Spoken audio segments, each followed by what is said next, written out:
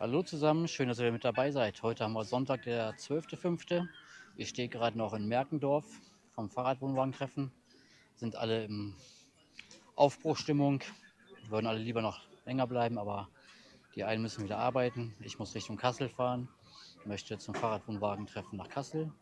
Mich begleitet der Sigi auf meiner Tour bis nach Fulda. Und in Fulda werde ich wieder auf dem Fulda-Radweg Richtung Kassel fahren. Viel Spaß beim Zuschauen. Sigi fährt vor mir bei schönstem Wetter. Ich fahre einfach nur hinterher. Er hat die Route schon geplant. Und jetzt geht es ganz gemütlich, wie schon eben gesagt, nach Fulda und dann nach Kassel. Haben jetzt gerade zum ersten Mal Probleme mit dem Himibay. Irgendwie beim Bremsen schaltet der Motor ab und will nicht mehr wieder weiterlaufen. Jetzt haben wir eben schon mal die Steckverbinder raus und wieder reingepackt. Jetzt wechseln wir nochmal den Akku. Und jetzt werden wir wahrscheinlich jeweils eine Bremse immer nach und nach austauschen oder ausmachen. Und dann mal gucken, ob es daran liegt.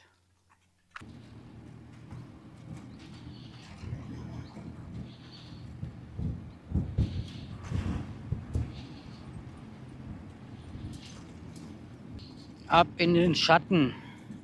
Das tut richtig gut. Sonne knallt zwar schon ganz schön, aber durch den Fahrtwind geht das ein bisschen. Aber kennen wir ja noch aus Cuxhaven am alten Land. Ordentlich Wind und dermaßen verbrannt. Habe mich heute Morgen auch eingecremt. Wenn wir nachher mal eine Pause machen sollten, werde ich mich auch noch mal ein zweites Mal eincremen, sicherheitshalber.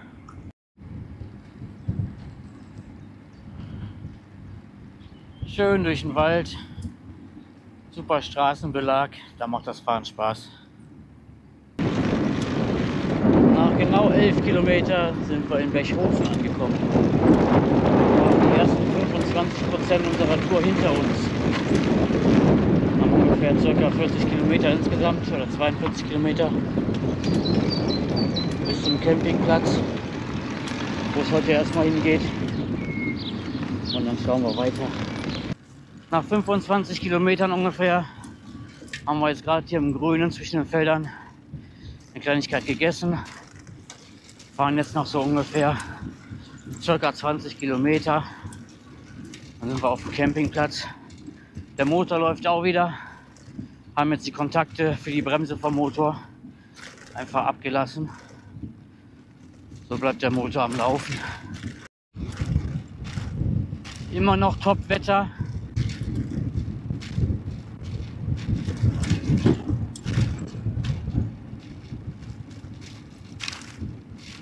Bisschen holprig gerade.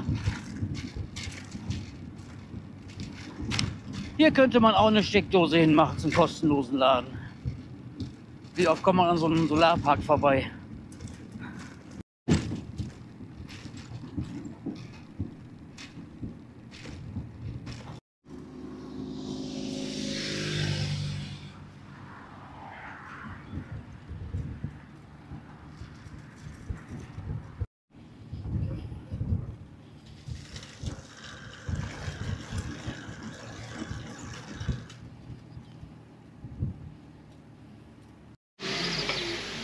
Heute gibt es noch eine kleine Küche, schnelle Küche. Gebratene Nudeln mit Ei und Zwiebeln. Keine Lust zum Kochen und keinen großen Hunger. Dann reicht das.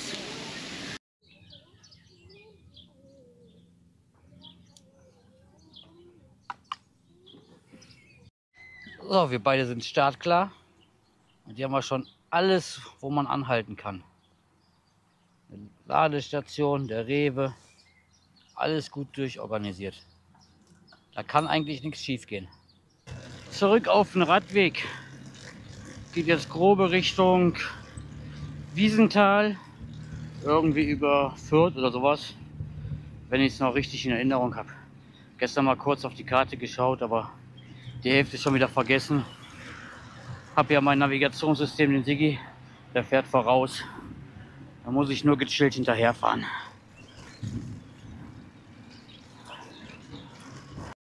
Wetter ist perfekt. Ich hoffe, dass es nicht zu warm wird heute. Nach dreieinhalb Kilometer die erste Umleitung soll bestens ausgeschildert sein. Lassen wir uns überraschen. Das erste Schild ist schon mal da. Bis jetzt noch relativ gut ausgeschildert.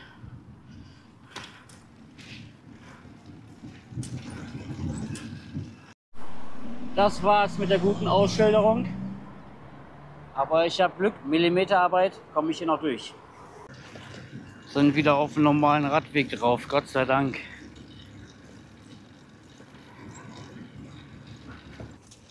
Wenn man direkt auf den Radweg fährt, richtig schön zu fahren. Zwischendurch mussten wir eben noch zweimal auf eine Fahrradstraße drauf. Aber so ist es nice.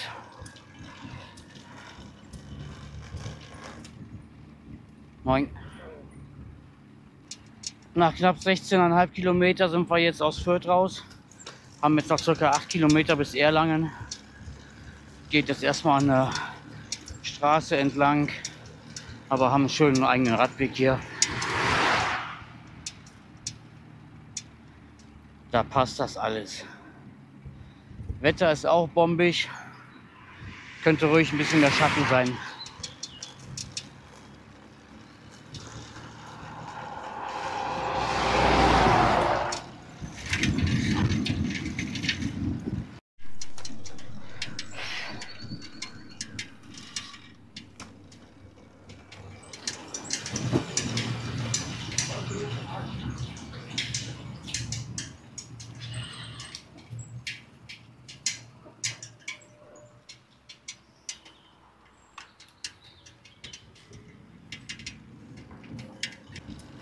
Nicht, ob ich richtig gelesen habe, gerade das Autobahnschild. Aber dürfte die A3 Richtung Regensburg. Keine Ahnung, ob die dahin fährt. Auf jeden Fall sind wir unter der Autobahn gerade. Sind gerade am Kanal angekommen. Der Kanal mit drei Sachen auf einmal. Rhein, Main und die Donau.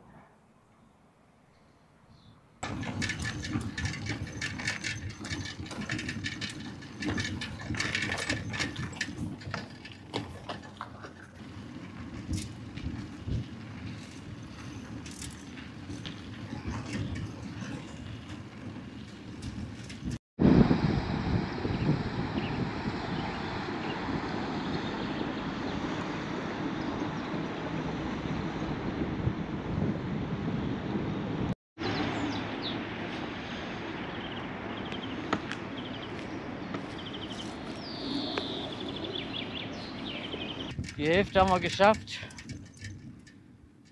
Jetzt haben wir eine kleine Pause am Kanal gemacht und jetzt geht es weiter, noch knapp 30 Kilometer.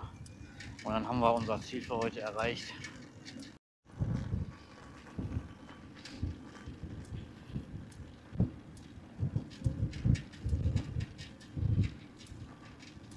Siebenundvierzig Kilometer sind runter, sind jetzt gerade in Forchheim angekommen.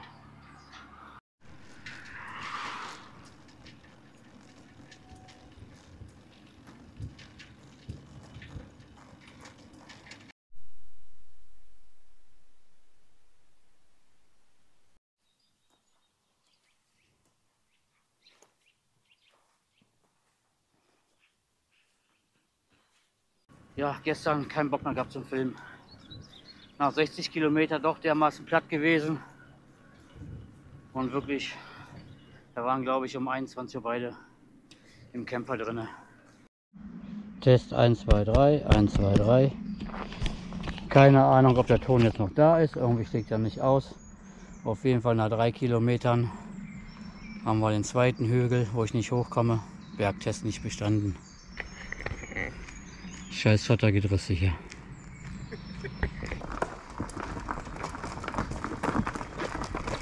Schön lächeln jetzt.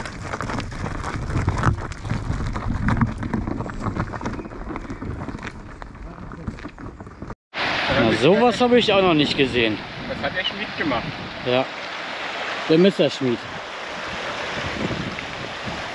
Ich traue ihn aber jetzt nicht. Ich gehe dahin, obwohl ich keinen, äh, Fünf Kilometer sind rum. Wir haben mal die Seite gewechselt. Ist zwar an der Straße, aber dafür asphaltiert. Und sind jetzt in Muggendorf. Neben der B470. Sorry für Ton. Muss das Mikrofon gerade abmachen. Muss dann nachher mal gucken in der ersten Pause, was damit los ist.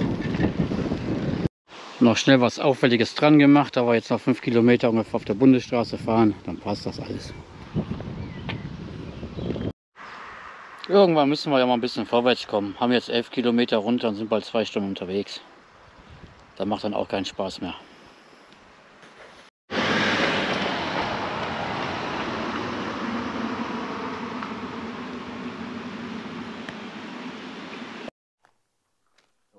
So. Jetzt gehen wir mal hier ein bisschen wandern.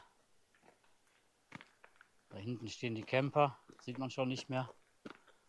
Schauen uns jetzt hier irgendwelche Reste von der Riesenburg an. Ah. Treppen steigen.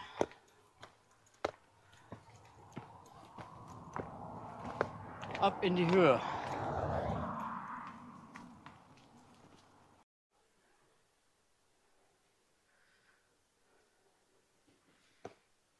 Weiß nicht, was sie uns hier vorgenommen haben. Wahnsinnig.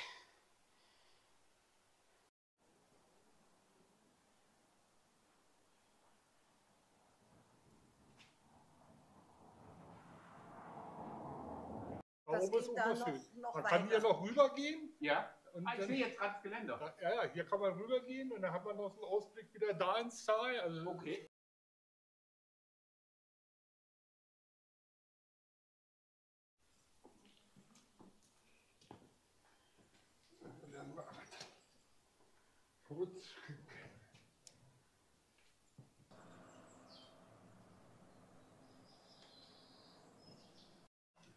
Wahnsinnig. Da unten waren wir eben. Ich bin meiner Höhenangst. Das ist jetzt schon ein Däumchen Hochwert hier. Das geht ja. Sächsische Schweiz schlimmer. Da kriegen sie mich nicht hoch. Auf diesen. Wie heißt der oben?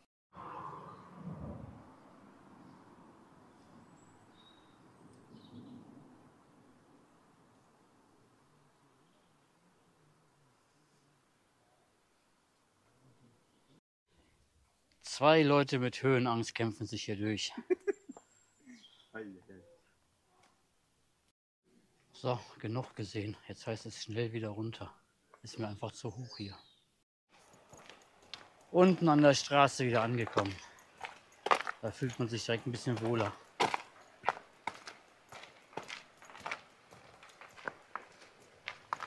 Schön ist es hier. Ja, muss man mal sagen. Wieder auf dem Fahrrad. Da fühlt man sich doch am wohlsten. War zwar schön da oben, aber war doch schon wieder zu hoch. Und jetzt hier einen schönen Radweg neben der Straße. Perfekt.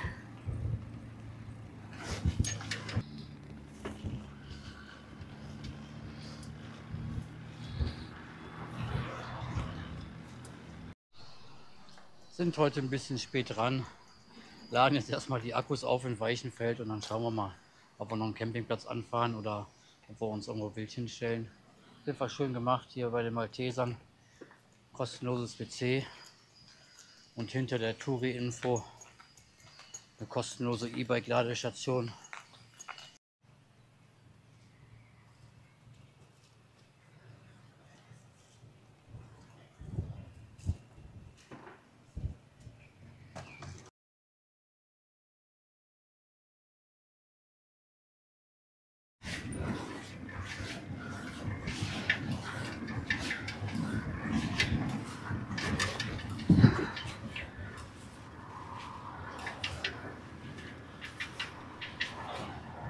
Ja. Bleiben wir hier. Bleiben wir hier, Feierabend.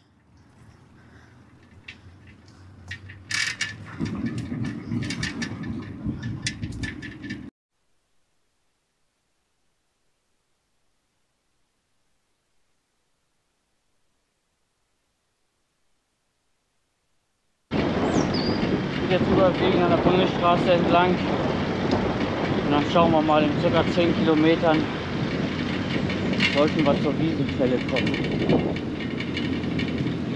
Mal schauen, was wir da entdecken.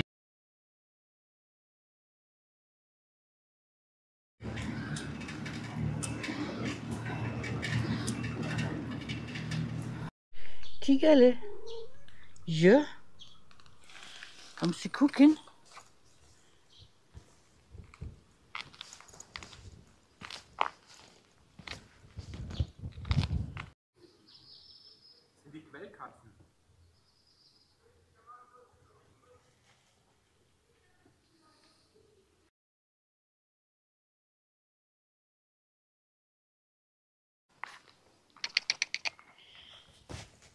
Mietzekatze.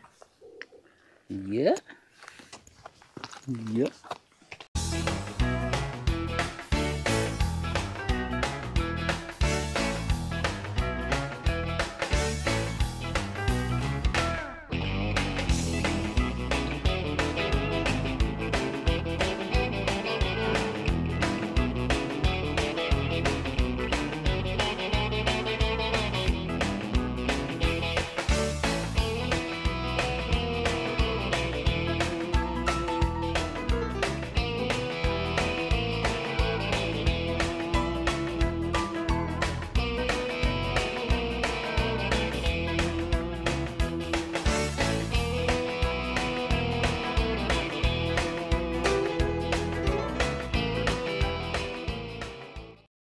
Schaut her, kurz vor Bamberg, Schloss Seehof. Wir werden jetzt nicht drum herum fahren. Wir werden euch nicht zu viel Kultur zeigen. Wir werden weiterfahren. Nach 44 Kilometern sind wir in Bamberg jetzt. Sind schon durch Bamberg durchgefahren. Sind jetzt an der Regnitz. Und hoffe, das bleibt jetzt auch so. Bamberg war mit zu viel Verkehr haben in Bamberg noch am Supermarkt kurz einen Salat gegessen und jetzt geht's hier weiter. Hoffentlich bleibt der Radweg so schön.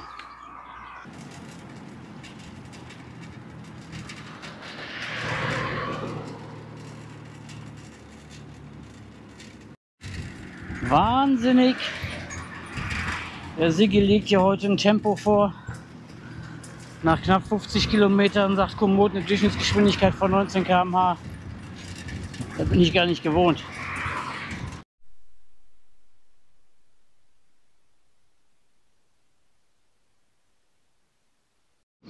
Ja, mein Rührei ist dann diesmal auf dem Rasen. Wollten wir gerade Rühreier machen. Ein Ei hat überlebt. Erstmal langsam einpacken, dann geht's hier los. Heute ein bisschen früher los. Wetter soll ab Nachmittag nicht mehr so gut sein. Sorry für die Windgeräusche. Ich habe vergessen, die Mikrofone gestern zu laden. Gestern Abend. Ja, so ist das. Wir fahren jetzt einfach zum Mainradweg. Und dann geht es Richtung Schweinfurt am Main entlang.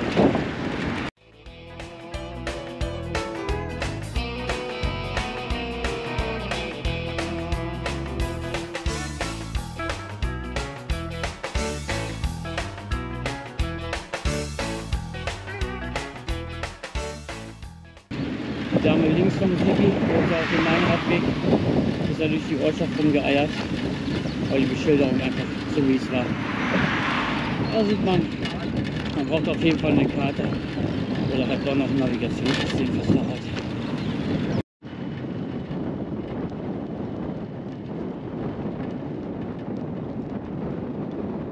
Knapp 40 Kilometer haben wir jetzt runter. Sind gerade aus Schweinfurt einigermaßen rausgekommen, aus dem Zentrum. Grauenvoll. Viel Verkehr. Die Kids haben Schule ausgehabt. Das macht echt keinen Spaß. Aber jetzt wird es wieder ein bisschen ruhiger. Nach 46 Kilometer heißt es, Grüß Gott aus Poppenhausen. Haben jetzt noch knapp 10 Kilometer bis zur Ladestation. Da hatten wir vorher noch einen Supermarkt und dann ist das mal Pause angesagt für heute. Aber nur Pause.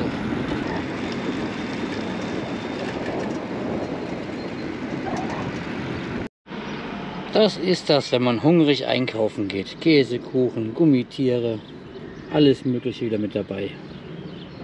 Der Käsekuchen ist nicht weit gekommen.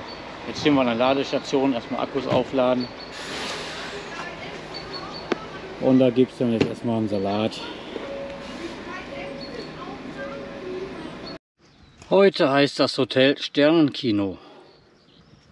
Lassen wir uns überraschen, ob wir so lange wach bleiben und ob wir überhaupt was sehen durch die Wolken. Ja, ein schöner Platz hier, mitten in den Feldern. Jetzt saßen wir die ganze Zeit dort schön in der Sonne. Dann kam der Wind, da haben wir gedacht, wir müssen ganz schnell kochen. Waren gerade fertig mit den Steaks essen. Fing es an zu regnen. Guten Morgen. Ja, das Wetter sieht nicht so rosig aus, konnte ich ja gerade sehen. Regen angesagt, das heißt heute mal ein bisschen früher los.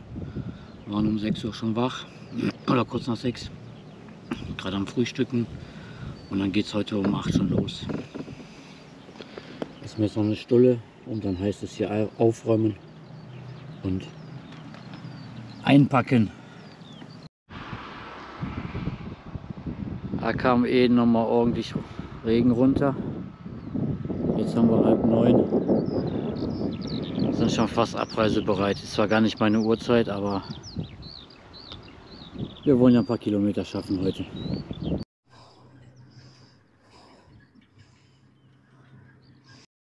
Circa 16 Kilometer haben wir jetzt runter. Haben noch circa 15 bis zur Ladestation. Dann haben wir 30 und dann werden wir noch mal ein bisschen nachladen und eine kleine Pause machen. Und danach geht es dann auch wieder bergauf, aber über eine alte Bahntrasse, so wie ich das verstanden hatte gestern. Lassen wir uns überraschen. Zeit für ein zweites Frühstückchen und Ladestation. Erstmal alles anschließen und dann gibt es Frühstück Nummer zwei.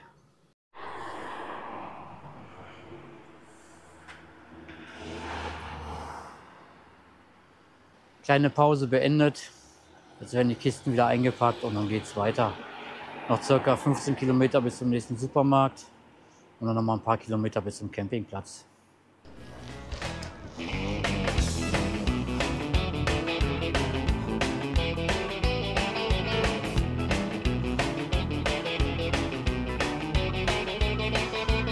Ein Traum, ein Traum.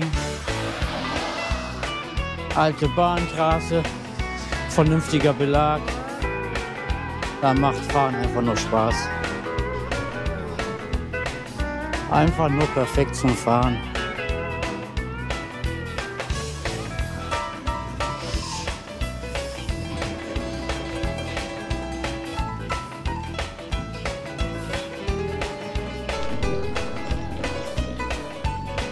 Nice.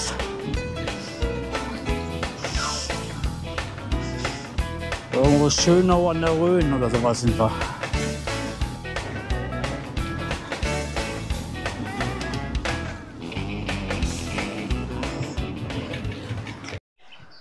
Jetzt haben wir das Tab aufgespannt, oder vielmehr drüber gespannt über die Fahrradwohnwagen. Es kommt da gleich die Sonne raus.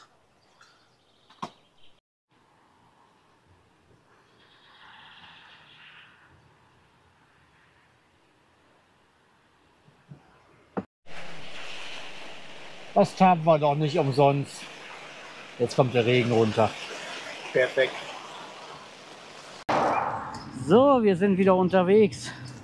Campingplatz gerade verlassen, kurz gefrühstückt, ein paar Bananen aber nur. Keinen richtigen Hunger gehabt, einen Kaffee getrunken.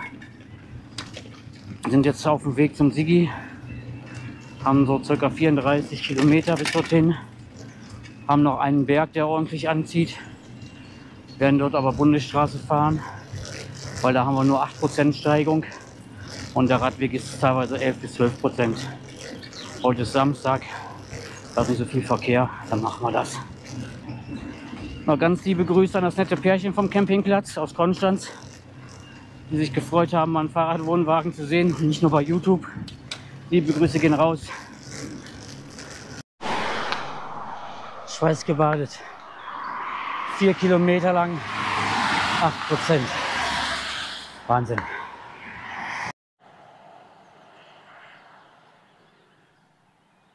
Ah, für Semi wäre alles gar kein Problem. Kämpft sich so ganz chillig hoch.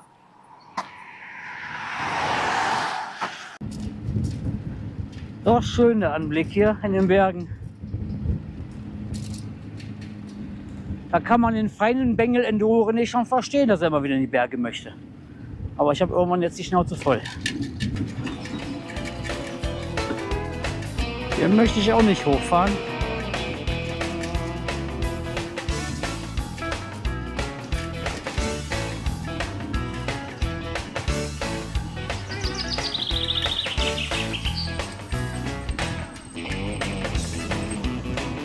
Ah ja, wo es runter geht, geht es auch wieder berghoch. Kennen wir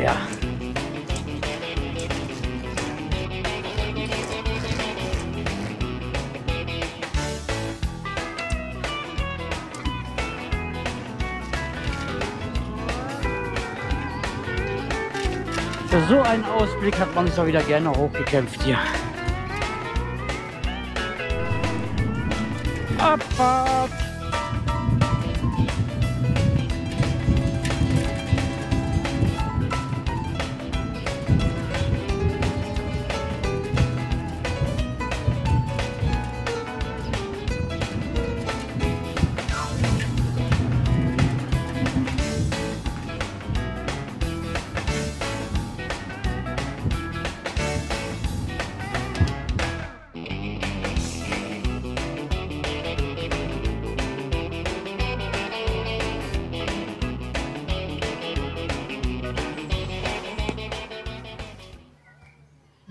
Bin ich.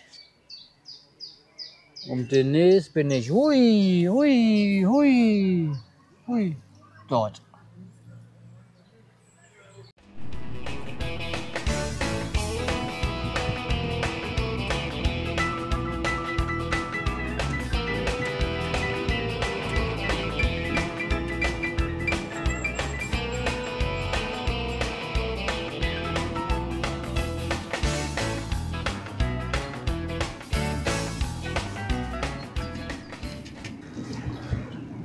Haben jetzt noch circa 5 Kilometer bis zum Siggi. Und dann ist da Feierabend für heute. Ich selber werde noch bis Pfingstmontag beim Siggi bleiben. Pfingstmontag werde ich losfahren. An Pfingstmontag werde ich auch ein neues Video starten. In dem Sinne würde ich auch mal sagen, vielen Dank fürs Zuschauen und bis zum nächsten Mal. Ciao, ciao.